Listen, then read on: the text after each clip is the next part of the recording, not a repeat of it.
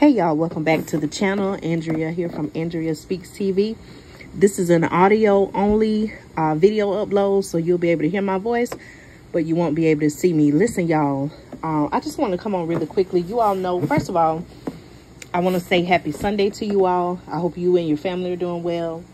Listen, I want to once again highlight, uh, bring up um, East Palestine or East Palestine, Ohio. Okay, you all know right here on the channel Brought you coverage about the train derailment that happened uh, what has actually been seven months ago. Now, down below in the comments, okay, I want you to listen to my video, but then after uh, my video ends, after you finish watching it, I want you to go in the comments and I want you to click a link and watch a video where some of the residents of East Palestine, Ohio have spoken out. And the question I want to ask is, have the residents of East Palestine, Ohio been forgotten about? Now, you may say, Andrea, why do you say that? You know, like I said, it's been seven months. It doesn't seem like it has been that long. But seven months ago, uh, East Palestine, Ohio, which is a small, from my understanding, a very small community, you know, there was a train derailment there.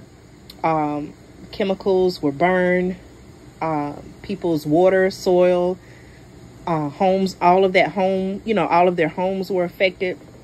There were even mandatory evacuations. People have had to leave their homes and many people have not returned. You know, um, uh, government of federal officials, uh, state officials came in uh, and, you know, uh, different groups offered aid.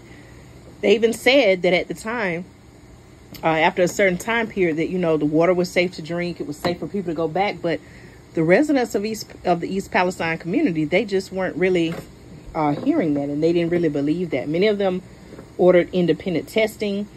And maybe even some of the results were in direct conflict with what they had been told. So, you know, many of the residents in the video, and you'll watch it, I don't want to spoil it, but many of them have, um, you know, just gotten to the point where they feel like enough has not been done. And surprisingly, and you'll watch this in the video as well, President Biden, okay, President Biden has not set foot in East Palestine, Ohio since this tragic uh, train derailment occurred. Uh, again, I want to ask the question, why have the people, have the people, so I want to ask the question, why have the, why, how do I want to ask this, y'all? Why does it seem like the people of East Palestine, Ohio have been have been forgotten about?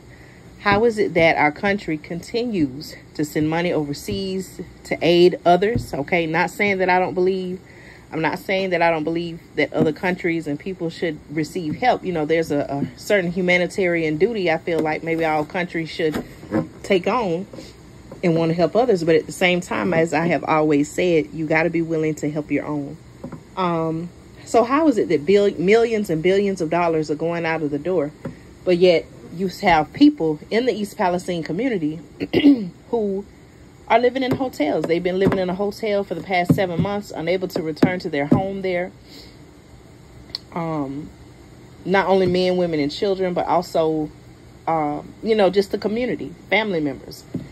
Um, it's quite concerning. So I want you to watch this video and then I want you to comment your thoughts on the video. It was very shocking, very concerning, very alarming that seven months later, people are still um, seeking, in, in many cases, for those who did not have the resources and the means to help themselves. Many people are still waiting on the government. Okay, now what can I take from this? There are many things, but what I want to point out for this particular video is, again, the need for us all to be prepared, to have several resources, to where, you know, um, for example, if you need to just up and leave for whatever reason, you know, even with this weather, thinking about what just recently happened in Florida, um, the recent uh, wildfires in Lahaina in Hawaii, you know, it really made me think about, wow, like people really have to think about and be prepared for a moment's notice if you have to evacuate your home for whatever reason, evacuate your community. So, you know, that's why I say we need to be pre prepared in more ways than one. But I want you to watch this video and leave your thoughts and feedback in the comments, okay? Make sure you check it out. I'm going to go back. I'm actually going to pin the video. After you watch the video, please let me know your thoughts, okay? Have the people of the East Palestine community been forgotten? I want to know your thoughts. Thank you for your support.